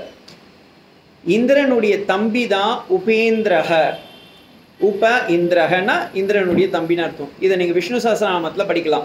உபேந்திரோ வாமன பிராம்சு ரமோர உ- ஊர்ஜிதக அப்படின்னு வரும். இந்திரனுக்கு தம்பியாக வரக்கூடியவர் உபேந்திரன். அப்படின்னு வாமனர். ஸோ பிரம்மா சொன்னதுக்காக பிரித்து மகாராஜா அந்த யாகத்தை நிறுத்தி விடுகின்றார். யாருன்னா பண்ணுவாளா? சுவாமி தொண்ணூத்தொம்பது சக்ஸஸ்ஃபுல்லாக பண்ணிட்டு மூணாவது நூறாவது நடக்கும்போது இப்படி வந்துருத்து நீங்கள் தடங்கள் போட்டீங்க நான் வேண்டான்னு சொல்கிறீங்களேன்னா அவர் ஒத்துக்கொண்டார். அப்படியே ஒத்துண்டதுனால சாக்ஷாத் நாராயணனே வருகின்றார். வந்து அவருக்கு சொல்கிறார் பிரித்து உன்னுடைய பக்திக்கு நான் மெச்சினேன். உனக்கு என்ன வேணுமோ கேள் அப்படின்றார். அப்போ இந்த பிரித்து சொல்கிறார் எனக்கு நிறைய இந்த ஹோமம் யாகம் இதெல்லாம் பண்ணிட்டு எனக்கு எதுவும் பூர்த்தி எனக்கு எந்த விதமான இதுவும் இல்லை நான் திருப்தியாக இருக்கேன் அதனால் எனக்கு வேண்டாம் எதுவுமே வேண்டாம் அப்படின்னு சொல்லி அவருடைய பத்து பிள்ளைகளை நல்லா தபஸ் பண்ணுப்பா அப்படின்னு சொல்லி அனுப்பிச்சி வைக்கிறார். விஷ்ணுவும் சொல்லிடுறார் இவங்க எல்லாருக்கும் நல்ல ஒரு கதி கிடைக்கும் அப்படின்னு சொல்லி அவரும் மறைஞ்சிடுறார் இப்போ இந்த பிரித்து மகாராஜாவுடைய விஜிதாஸ்வரனுடைய பத்து மகன்கள் தபஸை மேற்கொள்கின்றார்கள். எதற்கு? அப்படின்னு நம்ம இப்போ எங்கே இருக்கிறோம்? ஸ்ரீமத் பாகவதத்தில் இருக்கோம். ஏன்னா என்ன சுவாமி கதையாக சொல்லிகிட்டே வந்தீங்க. எங்கே இருக்குன்னு ஒன்றே புரியலையே அப்படின்னு கேட்டக்கூடாது ஸ்ரீமத் பாகவதத்தில் அந்த விஜிதாஸ்வரனுடைய மகன் அவர் கேட்கின்றார். இந்த பத்து மகன்களும் திருமணம் செய்து கொள்ள வேண்டும். அவர்கள் தபஸ் செய்ய வேண்டும். வாழ்க்கையில் தபஸ் செய்து அவர்கள் முக்தி அடைய வேண்டும் அப்படின்றார். இதை யார் கேட்கிறார்? விஜிதாஸ்வரர் கேட்டு அதற்கு பிருத்து மகாராஜா சொல்லி பிருத்து மகாராஜா சொல்வதாக பராசர மகரிஷி சொல்லி அதை வியாசர் கேட்டதால் விஷ்ணு புராணம் கிடைத்தது. நல்லா ஞாபகம் வச்சுக்கோங்க. விஷ்ணு புராணம் என்பது பராசர மகரிஷி அவருடைய பையனான வியாசருக்கு சொன்னார். வியாசர் தன்னுடைய மகனான சுகபிரம்ம மகரிஷிக்கு சொன்னார். சுகபிரம்ம மகரிஷி அவருடைய சிஷ்யனான பரீட்சித்துக்கு சொன்னார். பரீட்சித்து அவர் கேட்டதை உத்தவருக்கு சொன்னார். மைத்ரேயி மகரிஷி உத்தவருக்கு சொல்வதாக சொல்லி நான் உங்ககிட்ட சொல்லிட்டு இருக்கேன் இன்னைக்கு. இதுதான் பாகவதம். ஸோ என்ன? கதைக்குள் கதைக்குள் கதை அப்படின்றது தான் பாகவதமே. இப்போ இந்த பத்து குழந்தைகளும் தவத்தை மேற்கொள்கின்றார்கள். இந்த தவத்திற்கு என்ன பயன்? ஏன் தவம் செய்ய வேண்டும்? அப்படின்னா அந்த இடத்துல பகவான் ஒன்று சொல்கிறார் ஜென்ம கர்மச்ச மே திவ்யம் நாலாவது ஸ்கந்தம் ஆறாவது ஸ்லோகத்தில் இருக்கேன். இது வரைக்கும் நான் ஃப்ளாஷ்பேக் ஏன்னா ரொம்ப நாள் நமக்கு இல்லாததுனால நான் இதெல்லாத்தையும் அப்படியே சொல்லிட்டு வந்தேன். ஜென்ம கர்மச்ச மே திவ்யம் ஏவம் யோவேத்தி தத்வத திக்வா ஜென்மம் புனர்ஜென்ம நைதி மாமேதி சோர்ஜுன அப்படின்னு கண்ணனம்பிரான் பகவத்கீதையில் நாலாவது அத்தியாயத்தில் சொல்கிறார் ஏ அர்ஜுனா உனக்கும் எனக்கும் வித்தியாசம் இருக்குப்பா.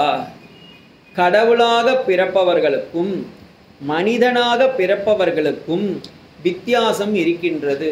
என்ன சுவாமி வித்தியாசம் இருக்குது ஆமாம் கடவுள்னா நாலு கையோடு பிறப்பார்.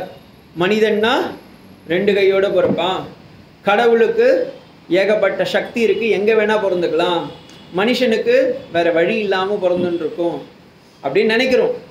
ஆனால் பகவான் அந்த இடத்துல சொல்கிறார் அப்படி இல்லைப்பா. காரணம்னு ஒன்று இருக்கு. நம்ம பிறக்கிறதுக்கு காரணம் என்ன? நாம் முற்பிறவியில் செய்த நல்வினை தீவினை. அந்த நல்வினை தீவினையின் பயனாக நாம் பிறக்கின்றோம்.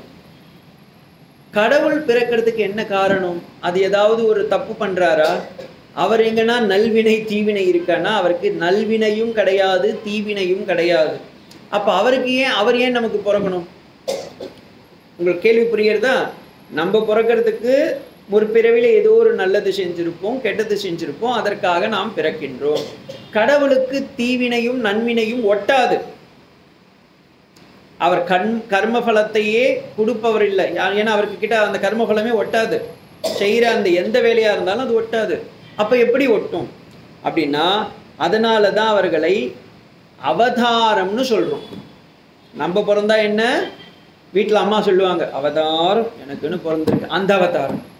பகவான் பிறந்தா அவதாரம். அவதரதி இதி அவதாரம். யார் ஒருவர் நம்மை உய்விப்பதற்காக மத்யமாய் கூர்மமாய் கோர வராகமாகி பரசுராமன் ராமன் பலராமன் கிருஷ்ணன் இப்படி ராமா ராமகிருஷ்ணாதி அவதாரங்களை எடுத்து அவங்க உய வரல நம்மை உய்விப்பதற்கு வருகின்றார்கள். இப்போ புரியுதுங்களா வித்தியாசம்? ஸோ இது முதல் காரணம். காரணம் முதல் நம்ம பிறக்கிறதுக்கு காரணம் கஷ் நம்ம பிறந்த கஷ்டம் நன்மை தீமை. அவர்கள் பிறப்பதற்கு நன்மை தீமை தேவையில்லை. பகவானுடைய அனுக்கிரகத்தினால நமக்காக கீழே வரான். முன் ரெண்டாவது ஸ்வரூபம் நம்ம வந்து பிறக்கிறதுக்கு நம்மளுடைய ஏதோ ஒரு வாசனைகள் இருக்கு. மூன்று குணங்கள் நமக்கு இருக்கு. அதனால்தான் ஆழ்வார் சொல்லி வச்சார். முக்குணத்தில் இரண்டினை விட்டு ஒன்றினை பற்றுக. நமக்கு சத்வம் ரஜஸ் தமசுன்ற மூன்று குணங்கள் இருக்கு. காலையில் எழுந்தவொன்னே கொஞ்சம் தூக்கம் வருது. மதியத்தில் கொஞ்சம் ஆக்டிவாக இருக்கும். நைட்டில் பார்த்தீங்கன்னா நன்னா சொல்லாமையே ஒன்பது மணி பத்து மணி ஆனால் ஆட்டோமேட்டிக் ஷட் டவுன் ஆயிடுது. அப்போ நமக்கே தெரியாமல் நம்மிடம் முக்குணங்கள் வேலை செய்கின்றது. ஆனால் மகவானிடம் முக்குணங்கள் வேலை செய்யாது. அவன் முக்குணத்தை தன்னிடமே ஏற்றி வைத்திருக்கின்றான். நல்லா புரிஞ்சுக்கோங்க. இப்போ நம்ம பேசிகிட்டே இருக்கேன் உபன்யாசம் சொல்லதை காட்டிலும் கேட்குறது தான் பெரிய கஷ்டம். சொல்லிகிட்டே இருக்கும்போது பார்த்தீங்கன்னா அப்படியே சு தூக்கம் வரும். சுவாமி என்னன்னா முக்குணத்தில் ஒன்று வேலை செய்கின்றது. அப்படி கரெக்டாக சொல்லிடலாம் ஸோ அந்த குணம் அப்படி நமக்கு உள்ளார வரும். ஏதாவது ஒரு இடத்துல போகும்போது சத் அப்படியே சத்தம் போட்டுகிட்டே இருக்கும்போது சத் நல்லா இது பண்ணும்போது பார்த்தீங்கன்னா கத்தி பேசுவா சில பேர் என்ன மாதிரி. அப்போ என்ன அர்த்தம்? ரஜஸ் நல்லா ஒர்க் ஆகிட்டு இருக்குன்னு அர்த்தம். சில பேருக்கு பார்த்தீங்கன்னா அப்படியே சாத்விகமாக அமைதியாக இருப்போம் அவங்கள பார்க்கும்போதே நமக்கு அப்படியே ஆனந்தமாக இருக்கும். அந்த மாதிரி. ஏன்? அந்த குணங்கள் இது வந்து இங்கிலீஷில் சைக்காலஜிலையும் சொல்லுவாங்க ஒயிட் பிளாக் ரெட் அப்படின்னு the three characters are formed by us through this character only we are acting acting the year year the day day the time our life time அதே மாதிரி பகவானுக்கு அப்படி என்ன இருக்குது அப்படின்னா அவருக்கு சத்துவம் எப்போ சத்துவமும் கிடையாது. ரஜஸும் கிடையாது.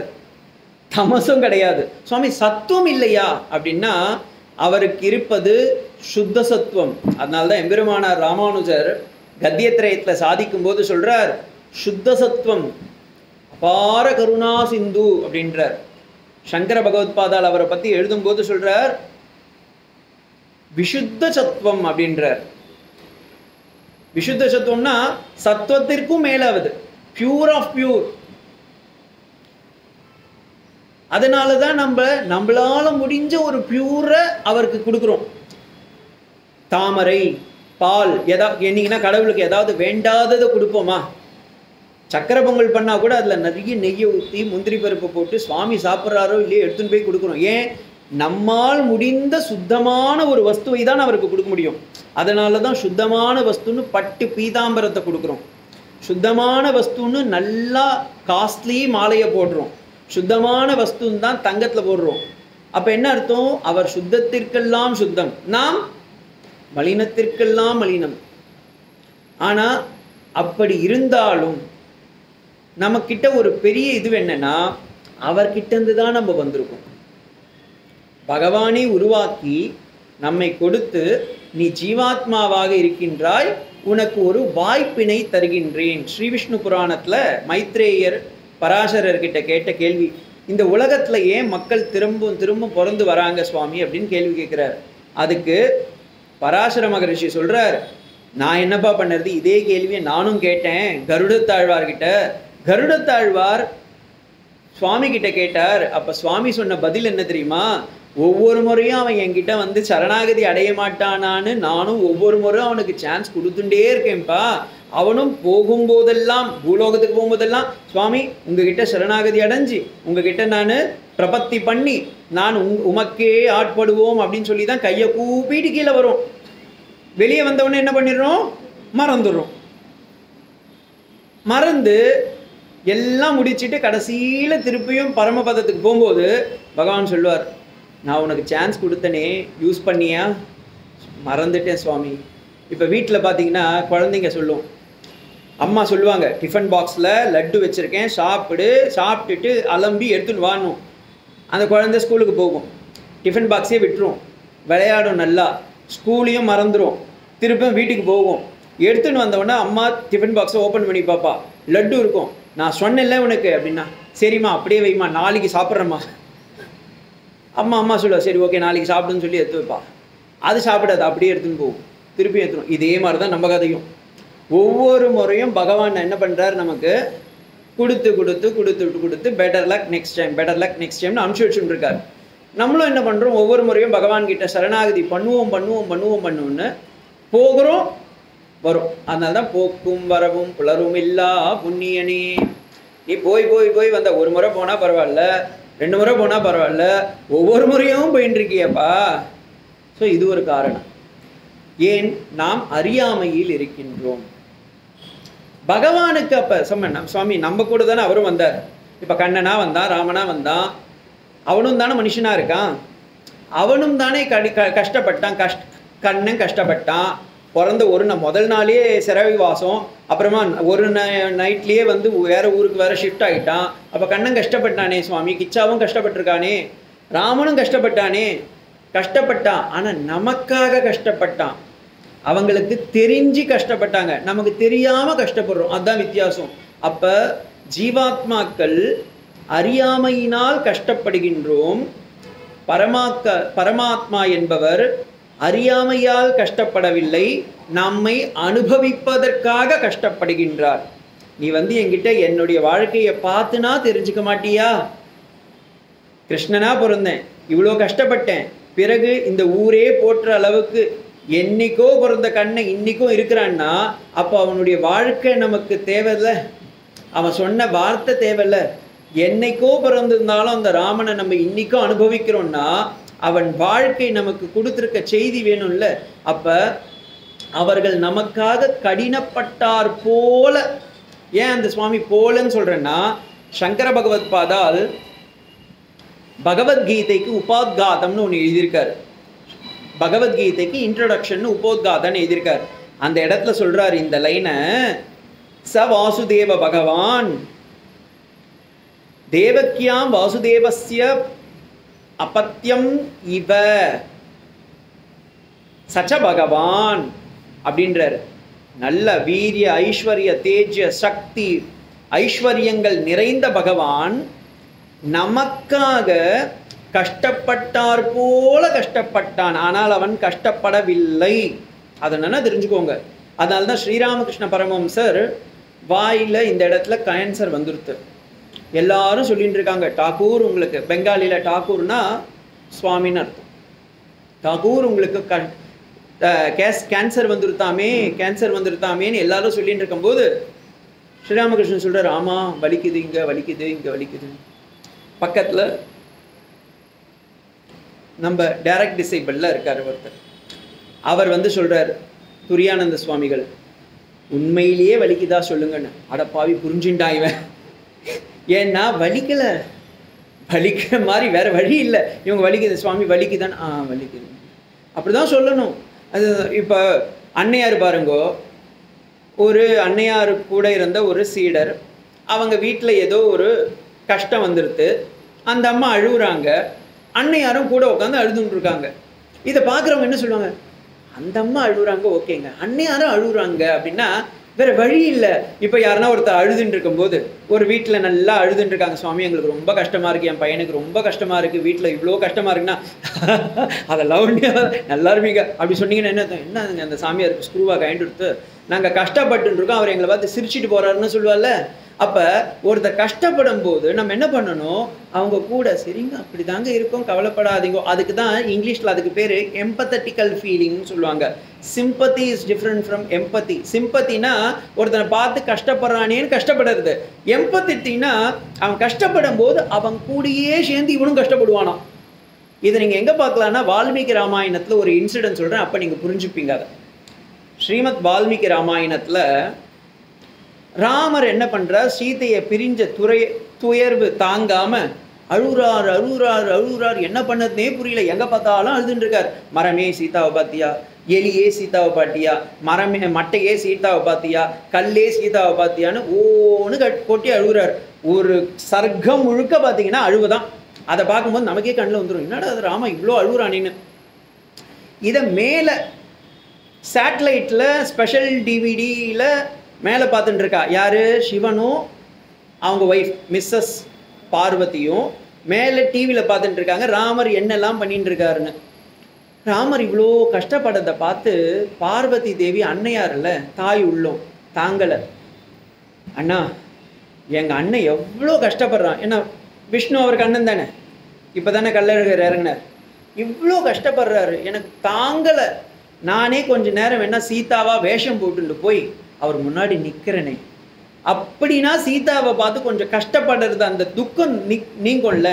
அப்படின்னு பரமசிவன் சொன்னார் அடி போடி. அவன் வேஷம் போட்டுக்கிட்டு ஸ்கிரிப்ட் போட்டு விளையாடின்னு இருக்கான். நீ போய் அவன் போய் அழுகுறான்னு நினைச்சுட்டு இருக்கே நீ. பார்வதிக்கு தாங்கலை. என்னங்க? எங்கள் அண்ணன் இவ்வளோ கஷ்டப்படுறாருங்க. பாருங்க யார் யார்கிட்ட பேசணும்னு தெரியாமல் மரம் மட்டை கட்டை கிட்டலாம் பேசிட்டு இருக்காருங்க. அவ்வளோ கஷ்டப்படுறாரு. நான் சும்மா போய் நிற்கிறேங்க அப்படின்னா. நீ போய் பார்த்துக்கோ அப்படின்னு சொல்லிட்டு சிவன் அப்படியே தியானத்தில் இருந்துட்டார். பார்வதி என்ன பண்ணா? சீதா மாதிரி வேஷம் போட்டுண்டு ராமர் முன்னாடி போய் நின்னார். இப்போ ராமருக்கு என்ன ஆகும்? சீதாவை காணும் காணும் காணும் தேரணும் சீதா பிராட்டி நிற்கிறா எதிர. என்ன பண்ணணும் உடனே? நம்மளா இருந்தால் என்ன பண்ணுவோம்? ஆஹா சீதா உன்னதானமா தேடினேன் அப்படின்னு ஓடி போய் கட்டி பிடிச்சிக்கணும் இல்லை ஐயோ சீதா நல்லா இருக்கியா? எப்படி இருக்க? இவ்வளோ நாள் என்ன இருந்தால் சாப்பிட்டியா இல்லையா? இதை கேட்கணும். ராமர் அழுதுகிட்டே இருந்தாரா? சீதையை பார்த்துட்டு அண்ணி நன்னா இருக்கேலா அண்ணன் இமயமலையில் நன்னா இருக்காரா? சாப்பிட்டாளா எல்லாரும்? சௌக்கியமாக இருக்கீங்களா? என்ன இங்கே வந்திருக்கேள்? அப்படின்னு கேட்டார். இப்போ பார்வதிக்கு பார்வதியாக இருக்கிற சீதைக்கு. என்னடா இது? இவர் துக்கத்தை போக்குறதுக்காக வந்தா இவர் என்ன சொல்றாரு? நான் சீத்தை இல்லைன்னு தெரியுது பார்வதின்னு தெரியறது. இதுதான் அவதாரத்துக்கும் நமக்கும் இருக்கும் வித்தியாசம். அத்தியாத்ம ராமாயணத்தில் ஒரு அற்புதமான ஒரு நிகழ்ச்சி. ராமர் காட்டுக்கு போக போறார். எல்லார்கிட்டயும் பர்மிஷன் வாங்கிட்டார். அம்மா கிட்டே போனார். அம்மா கௌசல்யாம்மா நான் போயிட்டு வரேம்மா. அவர் சொல்கிற இல்லைடா நான் உன் கூட இருந்து உனக்கு கொஞ்சம் சமைச்சிலாம் போடுறேன். நீ வேறு பன்னெண்டு வயசு பையன் இப்போ பதினாலு வயசு ஆயிருக்கு. கொஞ்சம் ஒல்லியாக இருக்கிற கொஞ்சம் பூஸ்ட்லாம் வாங்கி கொடுத்தேன்னா நன்னா இருப்ப. கொஞ்சம் நானும் உன் கூட காட்டுக்கு வரேன் வந்து ஹெல்ப் பண்ணுறேன் அப்படின்றா. இல்லைம்மா கணவன் இருக்கும் இடமே மனைவிக்கு சொர்க்கம். அம்மா நீ அப்பா கூட இருக்கணும். தசரதன் இங்கே தானே இருக்காரு அயோத்தியாவில் அப்போ நீ அங்கே தான் இருக்கணும். நீ அப்பா கூட இருந்து பார்த்துக்கோ நான் போயிட்டு வரேன்னு சொல்லி கிளம்பிடுறார். இப்போ இவர் வெளியே வந்துட்டார். வீட்டை விட்டு வெளியே வர்றார். சீதா பிராட்டி சொல்கிறா அண்ணா நானும் வரேன். உடனே சீத்தை கிட்ட ராமர் சொல்கிறார் எங்கள் அம்மாவும் அப்பாவும் கஷ்டப்படுறாங்க. வயசானவங்க ஓல்டேஜ் ஹோம்லாம் போட்டுறாத நீ கூட இருந்து கொஞ்சம் பார்த்துக்கோ சீதா நீயும் எங்கள் அம்மா அப்பாவை கூட இருந்து அயோத்தியாலேயே இரு. நான் பதினாலு வருஷம் தானே அப்படின்றதுக்குள்ளார போயிட்டு வந்துடுவேன் அப்படின்றார். உடனே சீதா சொன்னலாம் இது என்ன இது? நீங்கள் உடைச்சா மண் சட்டி நான் உடைச்சா பொன் சட்டி. உங்கள் அம்மாவுக்கு ஒரு வார்த்தை எனக்கு ஒரு வார்த்தையா? உங்கள் அம்மாவுக்கு மட்டும் என்ன சொல்கிறீங்க கணவன் இருக்கிற இடம் தான் மனைவிக்கு சொர்க்கம் சொன்னேன் இப்போ எனக்கு கணவன் நீங்கள் ராமர். அப்போ நான் உங்கள் கூட தானே இருக்கணும்? அப்போ நானும் உங்கள் கூட தானே வரணும்? வாங்க காட்டுக்கு போகலாம் அப்படின்னு. எவ்வளவு சொன்னாலும் சீதா ஒத்துக்கல. அத்தியாத்ம ராமாயணத்தில் சீதா அந்த இடத்துல ரிவீல் பண்ணுறா தான் ஒரு அவதாரம்ன்றத என்னென்னமோ சொல்கிறார் ராமர் சமாதானத்தை சீதா ஏற்றுக்கல கடைசியில் சீதா சொன்னாலாம் ராமா நான் வரலன்னா பா- ராமாயணம் நடக்காது. நான் காட்டுக்கும் கூட வரணும். ராவணை என்ன கிட்னாப் பண்ணணும். அப்புறமா தான் நீ போய் ராவணங்கிட்ட சண்டை போடணும். அப்படி பண்ணாதான் நீ ராமச்சந்திர பிரபுன்ற ஒரு பட்டாபிஷேகம் உனக்கு நடக்கும். அப்போதான் மக்கள் உன்னை ஞாபகம் வச்சுப்பா. அதுக்காக என்னை கூப்பிட்டுட்டு போ. இப்போ பாத்துக்கோங்க. அப்போ சீதாக்கு எவ்வளவு தெளிவாக தெரியுது பாருங்கோ. தான் யார் என்று. ராமருக்கு எவ்வளவு தெளிவாக தெரியுது? தான் யார் என்று. அன்னை சாரதா அம்மா. சுவாமி பிரம்மானந்த சுவாமிகள் அன்னை சாரதா அம்மாவை ராமேஸ்வரத்துக்கு அன்னையாரை இங்கே கூட்டிட்டு வராங்க. அப்போ அன்னையார் முதல் முறையாக தென்னகத்திற்கே வருகின்றார்கள். சுவாமி சசி மகராஜ் ராமகிருஷ்ணானந்த சுவாமிகளும் பிரம்மானந்த சுவாமிகள் ராகால்ன்ற ராஜா மகராஜும் அன்னையாரை ராமேஸ்வரம் வரைக்கும் கூட்டிட்டு போகிறாங்க கூட்டிட்டு போயிட்டு அங்கே ராமேஸ்வரம் கோ கோவில் இல்லை அந்த ராமலிங்க சுவாமிகள்னு இருக்காங்கல்ல இன்றைக்கும் அந்த அவர் வந்து மண்ணால் ஆனவர் ராமேஸ்வர சுவாமி. அங்கே போய் பூஜை செய்கிறாங்க வெள்ளியிலையோ தங்கத்திலையோ வில்வத்தில் அர்ச்சனை செய்ய சொல்கிறாங்க அன்னை சாரதாமா அந்த வில்வத்தை எடுத்து அந்த சிவன் கிட்ட போகும்போது ஒரு வார்த்தை சொல்கிறாங்க அன்னைக்கு நான் சீதையா பிடிச்ச வச்ச சிவன் அப்படியே இருக்கு. பார்த்துக்கோங்க அண்ணா அன்னைக்கு அம்மா ரிவீல் பண்ணிட்டாங்க. உண்மையை சொல்லிட்டாங்க. நான் யார் சீதையாக வந்தாரோ அவரே இன்று சாரதையாக வந்திருக்கின்றேன். அன்று யார் ராமனாக வந்தாரோ அவரே இன்று ராமகிருஷ்ணராக வந்திருக்கின்றார். அன்று யார் கண்ணனாக வந்தாரோ அவரே இன்று கண்ணனாக ராம ராமகிருஷ்ணனாக வந்திருக்கின்றார். ஸோ இதை தெரிஞ்சுக்கிறது தான் நம்ம வாழ்க்கையுடைய சுவாரஸ்யமே தவிர சரி சாமி புரியுது. ராமருக்கும் கஷ் கிருஷ்ணனுக்கும் நமக்கும் என்ன வித்தியாசம்? இந்த வித்தியாசத்தை தெரிஞ்சுட்டோன்னா நம்ம யார்? கடவுள் யார்? அப்புறமா நாம் எப்படி கடவுளை கடவுளாக மாற முடியும் அப்படின்றத உணர முடியும்வா சுவாமி ராமானந்த சுவாமிகள்னு ஒருத்தர் இருந்தார். ரிஷிகேஷில் பெரிய மகான். அவர் பெரிய மகான். அவருக்கு கீழே வந்து கிட்டத்தட்ட ஒரு நூறு சீடர்கள் இருந்தாங்க. நூறு சீடர்கள். அதில் ஒரு சுவாமி இருந்தார். இப்போ அண்மை காலம். ஒரு ரெண்டு வாரத்துக்கு முன்னாடி தான் அவருக்கு நூற்றி எட்டாவது ஜெயந்தி உற்சவம் நடந்தது. அந்த சுவாமி பிரம்மச்சாரியாக இருக்கும்போது அந்த ராமானந்த சுவாமிகள் கீழே இருக்கிறார். அவர் எப்போ பார்த்தாலும் ஈஸ் அ ஜேர்னலிஸ்ட் ஜேர்னலிஸ்ட்னா தமிழ் என்ன சொல்லுவீங்க தெரியாது. பத்திரிகை நிபுணராக இருந்தவர் எப்போ பார்த்தாலும் கேள்வி கேட்குற ஒரு தன்மை இருக்கும் எப்போவுமே அவருக்கு. அவர் இந்த சுவாமி கிட்ட போய் ரிஷிகேஷில் ஒரு சந்நியாசியாக மாற வேண்டும் என்பதற்காக அவரிடம் போய் சேர்கின்றார். அந்த சுவாமி எல்லார்கிட்டேயும் யார் புதுசாக போன சாமி எல்லார்கிட்டேயும் சண்டை போடுறது சண்டை போடுறது சண்டை போடுறது எப்போ பார்த்தாலும் கோவப்படுறது சண்டை போடுறது சண்டை போடுறது பண்ணிகிட்டே இருந்தார். எல்லாரும் போய் கம்ப்ளைண்ட் பண்ணிட்டாங்க சுவாமி இந்த பிரம்மச்சாரி எப்போ பார்த்தாலும் நம்ம கூட சண்டை போடுறோம் ஒன்று அவனை தூக்குங்க இல்லை என்ன தூக்குங்க. நாங்கள் மாறுறோம் இல்லை அவங்கள மாறுங்க. இப்போ இந்த சுவாமி பார்த்தார். அவர் அந்த பையனை கூப்பிட்டார். பிரம்மச்சாரி பையனை இங்கே வாங்கப்பா இங்கே நூறு பிரம்மச்சாரி இருக்கா? இந்த நூறு பிரம்மச்சாரியில் யாரோ ஒருத்தர் பகவானுடைய அவதாரம். அதனால் நீங்கள் யாருன்னா ஏதோ ஒரு காரணத்தினால அந்த பகவானுடைய அவதாரமாக இருக்கக்கூடிய அந்த குழந்தைய நீங்கள் திட்டனாலோ சண்டை போட்டாலோ அவங்க கஷ்டப்பட்டா அதனால் நம்ம தான் கஷ்டப்பட போகிறோம் அது உனக்கும் உன் வாழ்க்கைக்கும் பெரிய கேடு நினைக்கும்.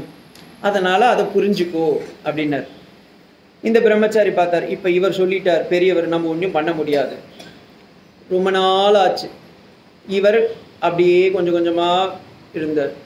யார்கிட்டனா சண்டை போட வருவார். வந்து சண்டை அப்படி வாயில் திட்ட வருவார். சுவாமி சொல்லியிருக்கார் இவராக இருக்கலாம் அந்த பிரம்மச்சாரி. யாருக்கு தெரியும்? சண்டை போட யாருன்னா ஒருத்தர் தப்பே பண்ணியிருப்பா. ஆசிரமத்தில். இவர் போய் கோபம் வந்துரும். போய் சண்டை போட போவார். இவராக இருக்கலாம் அந்த பிரம்மச்சாரி. யாருக்கு தெரியும்? எனக்கு யாருன்னு சொல்லலை அவர். அதனால அப்படியே விட்டுட்டார். இப்ப சுவாமி ராமானந்த சரஸ்வதிகள் படுத்த படுக்கையாக மாறிவிட்டார். இறக்கும் தருவாய் வந்திருத்து அப்பா அந்த பிரம்மச்சாரியா இருந்தவர் சந்நியாசமும் வாங்கி கொண்டார். அவர் போய் அவர்கிட்ட கேட்டாராம் சுவாமி இப்போ நான் சொல்லுங்கோ. இந்த நூறு பேர்கிட்டயும் இப்ப நான் சண்டையே போடுறது இல்ல ஏன்னா யார்கிட்ட போனாலும் யார் அந்த சுவாமின்னு எனக்கு தெரியாது. அதனால நான் எல்லார்கிட்டையும் இப்ப சண்டை போடாம தான் இருந்துட்டு இருக்கேன் யார் அந்த மகாத்மான்னு எனக்கு சொல்லி கொடுங்கோ. அதுக்கு அவர் சொன்ன பதில் நீதான்ப்பா அந்த மகாத்மா. பிறரிடம் குற்றம் காணாமல் நாம் இருந்தால் நாமே இறைவனாக மாறிவிடுவோம்.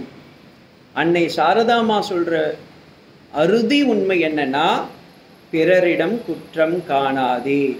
குற்றம் பார்க்கில் சுற்றம் இல்லை. அப்ப நம்ம குற்றம் இருக்கும் கண்டிப்பா. ஏன்னா எல்லா ஜீவராசிகள்கிட்டும் குட்- குத்தம் இருக்கும். அதை தான் ஏன் இவ்வளோ தொழில் சொன்னேன்னா சுவாமி கடையை விற்று எங்கேயோ ஓடி போயிட்டீங்கன்னு சொல்லாதீங்க. ஸ்ரீ விஷ்ணு பகவான் அதையே சொல்கின்றார்.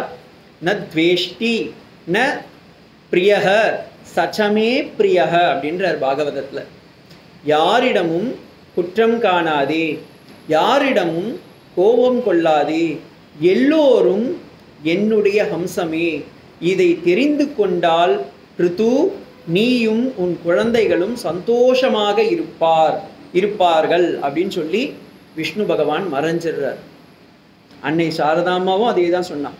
அதுக்கப்புறமா இந்த குழந்தைங்க அந்த ஜீவர்களாக இருந்தது பாருங்க பத்து குழந்தைங்க அவங்க தபஸ் பண்ணுறதுக்கு சரஸ்வதி நதிக்கரை போகின்றார்கள். அங்கே ருத்ர பகவான் காட்சி கொடுத்து பெருமாளை பற்றி நாற்பத்தி ஏழு ஸ்லோகம் சொல்கின்றார். அந்த நாற்பத்தி ஏழு ஸ்லோகத்தையும் அடுத்த வாரம் அதில் முதல் சாதாரண பொருள் அதில் அத்வைத்த பொருள் ஏன்னா நிறைய பேர் சொல்லுவாங்க. சிவனும் ஹரியும் சிவனும் வேற. சில பேர் சொல்லுவாங்க ஹரியும் சிவனும் ஒன்று ஸ்ரீமத் பாகவதத்தில் ருத்ரகீதைன்னு அதுக்கு பேர். ருத்ரன் பெருமாளை பற்றி நாற்பத்தி ஏழு ஸ்லோகம் சொல்லியிருக்கார். அற்புதமான வார்த்தை ஏன்னா நமக்கு டைம் இருக்குது ஏழு நாள்லலாம் சப்தாகலாம் முடிக்கணுன்ற ஹரிபரி இல்லை. சிலபஸ் கவரிங்கே இல்லை. எக்ஸாமினேஷனும் நமக்கு கிடையாது. ஸோ ஆல் பாஸ் அதனால் பொறுமையாக அந்த ருத்ரகீதையை அனுபவித்து அடுத்த வாரம் பார்க்கலாம். சர்வத்திர கோவிந்த நாம சங்கீர்த்தனம். கோவிந்தா கோவிந்தா. ஜானகீகாந்தஸ்மரணம் ஜெய் ஜெய் ராம ராம. ஹரணம பார்வதிபதையே ஹர ஹர மகாதேவா தென்னாடுடைய சிவனே போற்றி எண்ணாட்டவர்க்கும் இறைவா போற்றி ஸ்ரீவள்ளி தேவசேனா ஸ்காந்த ஸ்மரணே சுப்பிரமணிய ஓம்